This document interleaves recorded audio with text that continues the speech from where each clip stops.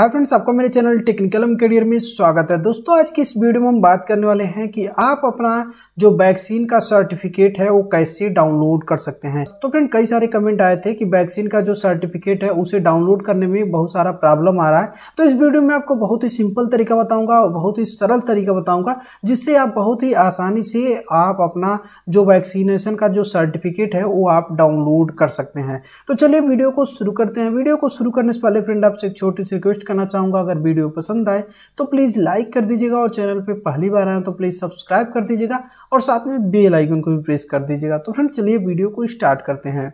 तो friend vaccination certificate को बहुत सारे लोग डाउनलोड कर पा रहे हैं, लेकिन फ्रेंड बहुत सारे ऐसे भी लोग हैं जिन लोगों को समझ में नहीं आ रहा कि किस तरह से हम अपने मोबाइल से ही वैक्सीनेशन का सर्टिफिकेट डाउनलोड कर सकते हैं। और उसे मान लीजिए आप डाउनलोड करके प्रिंट कहीं भी करवा सकते हैं या अपने पास ही रख सकते हैं। तो चलिए मैं आपको बताता हूँ कि किस तरह से आप अपने मोबाइल से ही अपना वैक्सीनेशन सर्टिफिकेट डाउनलोड कर सकते हैं। तो फ्रेंड अपना वैक्सीनेशन सर्टिफिकेट डाउनलोड करने के लिए वीडियो के डिस्क्रिप्शन में एक लिंक दिया। उस लिंक पे क्लिक करने के बाद सीधे आप यहाँ पे आ जाएँगे। देख सकते हैं ministry of health and family welfare. और यहाँ पे देख सकते हैं कोविन का जो वेबसाइट है, उस पर आप आ जाएँगे।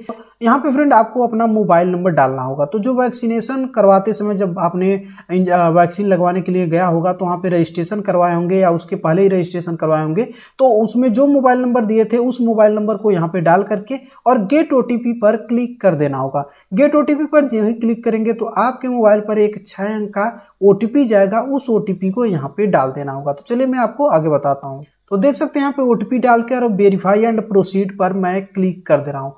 क्लिक करने के बाद फ्रेंड यहाँ पे देख सकते हैं कुछ इस तरह से यहाँ पे आ जाएगा। अगर आपका जो आ, आपने रजिस्ट्रेशन करवाया है उसमें दो मेंबर तीन मेंबर ऐड हैं तो इस तरह से यहाँ पे आ जाएगा। दोनों लोगों का यहाँ पे देख सकते हैं वैक्सीन लगा है। तो जिसका भी सर्टिफिकेट आप डाउनलोड करना चाहते हैं उसके सर्टिफिकेट पे आप क्लिक कर दीजिए। देख सकते हैं यहाँ पे सर्टिफिकेट लिखा है इसका मैं डाउनलोड करना चाहता हूँ तो सर्टिफिकेट पर मैं क्लिक कर दिया। क्लिक करने के बाद फ्रेंड यहाँ पे देख सकते हैं यहाँ पे सर्टिफिकेट टू थ्री यहाँ पे देख सकते हैं डाउनलोड हो चुका है इस पर मैंने क्लिक किया और यहाँ पे फ्रेंड देख सकते हैं, पूरा डिटेल वगैरह सब कुछ आ जाएगा।